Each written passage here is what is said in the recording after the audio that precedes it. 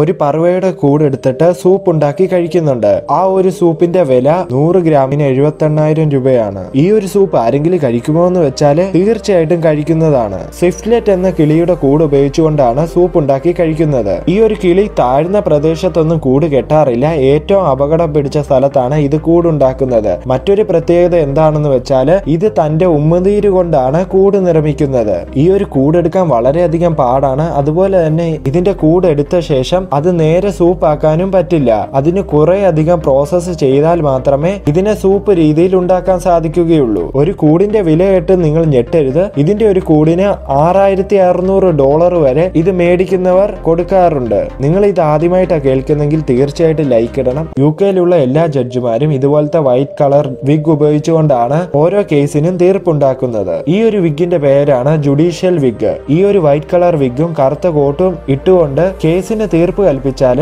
അവർ നീതിന്യായത്തിന് വേണ്ടി പോരാടുന്നവർ എന്നാണ് ഇവർ തന്നെ വിചാരിക്കുന്നത്. അതുപോലെ തന്നെ ഇവർ ഉപയോഗിക്കുന്ന കാലത്തോളം ഈ ഒരു വിഗ് കഴുകാറില്ല. അത് എന്തുകൊണ്ടാണെന്ന് വെച്ചാൽ ഈ ഒരു വിഗ് കാണുമ്പോൾ തന്നെ ജൂനിയേഴ്സ് ആയിട്ടുള്ളവർക്ക് മനസ്സിലാക്കാൻ സാധിക്കും ഇവർ എത്ര നാളായിട്ട് ഈ ഒരു പോസ്റ്റിൽ ഇരിക്കുവാണെന്ന്. വിഗ് പുതിയതും നല്ല കളർ ഉള്ളതാണെങ്കിൽ മറ്റുള്ളവർ വിചാരിക്കും ഇദ്ദേഹം പുതിയതായിട്ട് ജോയിൻ ചെയ്ത ആളാണെന്ന്. എന്നാൽ വിഗ് പഴയതും ചെളി പുരുണ്ടതും കറുത്ത കളറിലാണ് ഇരിക്കുന്നതെങ്കിൽ അദ്ദേഹം നല്ല എക്സ്പീരിയൻസ് ആയിട്ടുള്ള ആളാണ് മറ്റുള്ളവർക്ക് മനസ്സിലാക്കാൻ സാധിക്കുന്നതാണ്. ഈ വീഡിയോ ഇഷ്ടപ്പെട്ടാൽ തീർച്ചയായിട്ടും ലൈക്ക് ഇടണം. അടുത്തൊരു വീഡിയോ ആയിട്ട് ഇനി വരുന്നതായിരിക്കും. അതുവരേക്കും ബൈ